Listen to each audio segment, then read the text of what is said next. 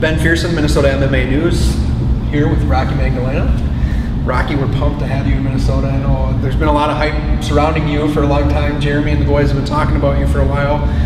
Um, how pumped are you to be here finally uh, fighting in Minnesota? I'm excited. Minnesota's a pretty pretty wild state for some MMA, and they've definitely welcomed me. So I'm excited to show them what I've been working for. And you've been going with uh, a lot of people. You're with Roufus. Yep, I train there.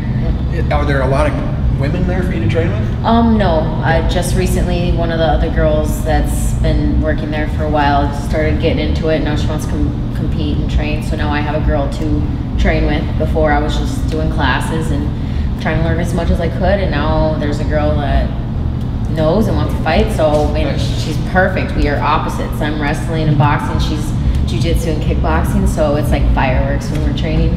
It's awesome. Now you're fighting Rachelle Bacon. I don't know. Do you know much about her? Have you heard anything? Um, no, I haven't heard anything about her. I um, since I've been fighting, well, I've only had four fights, but since I've been fighting, I don't do any research on any of my opponents. I just, I only have enough time to work on myself, so I, I don't even really know what her record is. I know that she's from Wisconsin too. That's about all I know, but I don't know if she has a specific style or anything. I don't know. With you, uh, you're a wrestler. There's not uh, there's not that many females in MMA that have that strong wrestling base like you do. How much of an advantage is that for you every time you get in the cage? I think I have a, a very good advantage of wrestling. Um, everything, the discipline, the and it's not like I, you know, I've been wrestling since I was in the third grade, two years in college, and you know, it's the discipline, the year-round wrestling, not just high school. You know, National three seasons. No, it's you know, training. We have camps all summer, and we, you know, we do freestyle. Then we go into folk style and Greco, and you know, it was it wasn't a, a season. It was all year, every year, growing up for us. So I have a very good. I think that wrestling is the best background to have, and it just you know everything, hip control and just movement and being comfortable. You know, it's not a team sport. I mean, it is, but it's not. Once you get in that cage, it's just you. You know, everybody's looking at you. or, You know, I'm used to that. I'm used to that. So There's nobody else to look at too when you lose. No. Wrestling Nope. or can't blame anything. MMA, right? uh, You know, other team sports. I don't think people.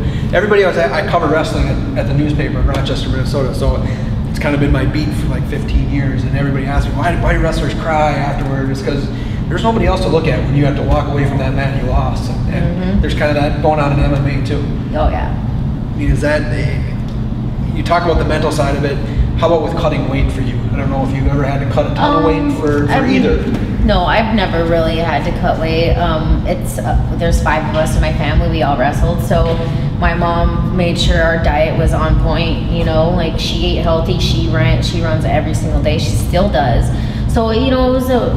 It's just a lifestyle. It, we've been living it my whole life. Um, just recently, since I moved to Milwaukee, I've been on the all organic, you know, non-GMO, you know, completely and science, you know, scientifically. I've been, you know, figuring out my meal plans and everything like that. And it's just, this is the lowest I've weighed since seventh grade. 114.8. Like I haven't weighed that since literally since seventh grade. So it's it's awesome to just be able to walk in and feel strong. Like I I've been, I ate till yesterday. You know, I just haven't eaten today, but I have now after I weighed in. But you know, it's it's it's definitely helped me. You know, it's, it's my life. I don't. This isn't training camp. You know, I don't have fight fight camp. I don't have that. I just do it every single day. What uh, what do you want to work on in this fight? I mean, I know Stand up. I, okay, I was, I was hoping you'd say that. I- I really wanna keep it stand up. hands and I just want to. Um, I think my last fight, it was she had like seven inches on me, so it was like every time I went in, I just got, you know, and I hadn't been sparring yet because that girl hadn't been to the gym yet, so I had just, you know, went in there like a deer in headlights. I hadn't had any hits at my face. You know, that's a that's a comfort zone when somebody's punching at your face. You know, you want to shut them all the time, but.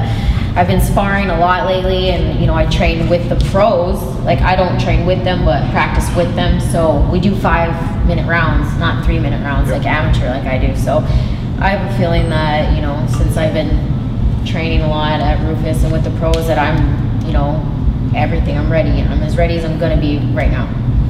Nice. So how long before we see you turn pro? I mean, do you feel like you're close to that? Uh, no, Okay. I'm not. I, I'm not. I'm not confident enough with my stand up. You know, I am if there wasn't kicks involved. You know, that kicking easy is. for a wrestler though. You just grab that leg I know, but if you get a good kickboxer, it's dangerous. Yes, it, it really is. I and my training partner, she's a good kickboxer, so I've had my leg beaten up the past few months. It's been you know pretty bad, but was gonna say it's also hard to find pro fights for a female fighter. I mean, unless Yeah. you get to Invicta or somewhere, it's hard. It's hard to find legit pro fights for females. It seems like. I can't believe there's not very many women wrestlers though with them because I mean I think that here, but there's. I think that maybe they just put so much work in growing up and in high school and in college that they're done. Like Yeah. I thought I was done. I went to college and I got blew my shoulder out. I had shoulder surgery and I was like, I'm never gonna do a sport like that again. You know, my body's worth more than that. then my brother introduced me to this stuff and I just fell in love. He's like, it's like wrestling, but you can punch. I'm like, shut up. I never heard of such a thing. so I was excited. Nice. All right, Rocky Magdaleno, get ready, Minnesota. You're gonna get introduced to uh, to what she's all about. Thank you. Good luck. Thanks.